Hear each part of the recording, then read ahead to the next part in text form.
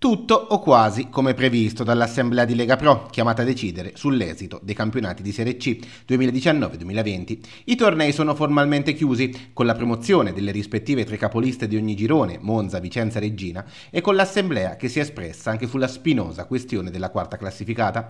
I club di Serie C hanno deciso che, per la promozione nella serie cadetta del quarto club, verrà proposto al Consiglio federale la scelta tramite merito sportivo, con 23 voti favorevoli. Sconfitta la tesi di giocare i playoff con i protocolli a 16 voti.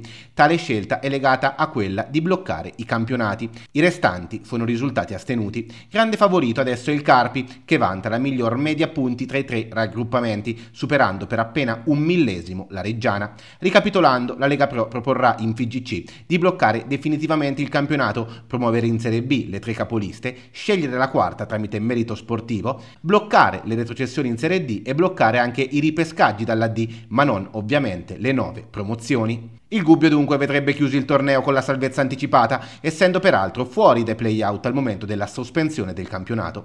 Peraltro la situazione che si va a delineare è quella auspicata dalla società di Via Parruccini, che ha votato per lo stop al campionato, per la promozione diretta delle squadre in testa alle classifiche dei tre gironi, per il blocco delle retrocessioni e dei ripescaggi e per applicare il metodo del merito sportivo per la quarta promozione.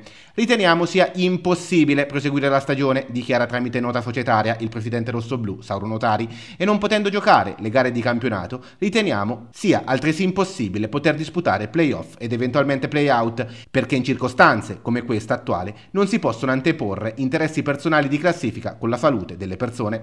Auspico pertanto che il Consiglio federale, che dovrà pronunciarsi prossimamente, dichiara sempre Notari, tenga in considerazione le proposte avanzate dall'Assemblea delle società di Lega Pro.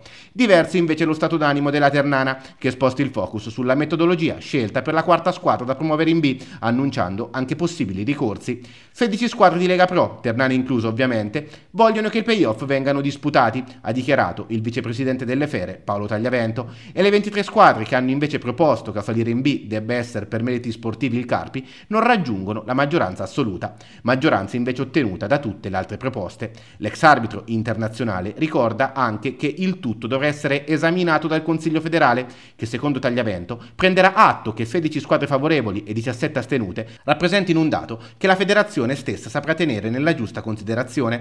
Pertanto qualsiasi altra decisione assunta vedrebbe costretta la società rossoverde ad agire per vie legali. Tutto nelle mani della Federcalcio dunque, che dovrà decretare i verdetti di un campionato che rimarrà a suo modo storico per la terza serie nazionale.